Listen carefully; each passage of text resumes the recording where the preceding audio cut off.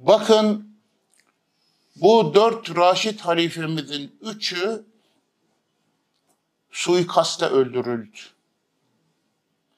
Bu üçünün ölümünün ikisi kendini Müslümanlığa nispet edenler tarafından gerçekleşti. Biliyor musunuz? Bakın devlet başkanı, ümmetin en yüksek merci, onun üstlerinin üstünde yaşayan bir merci yok. Beşer anlamında.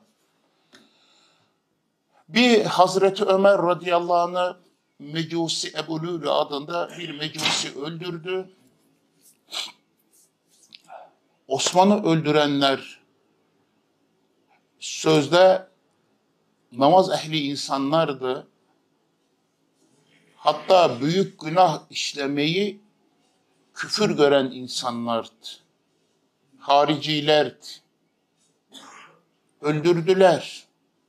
Belki o dönemin içerisinde tam haricilik böyle teşekkül etmemişti ama aslında Osman radıyallahu anh'ı öldürenler hariciliğin temelini atanlardı.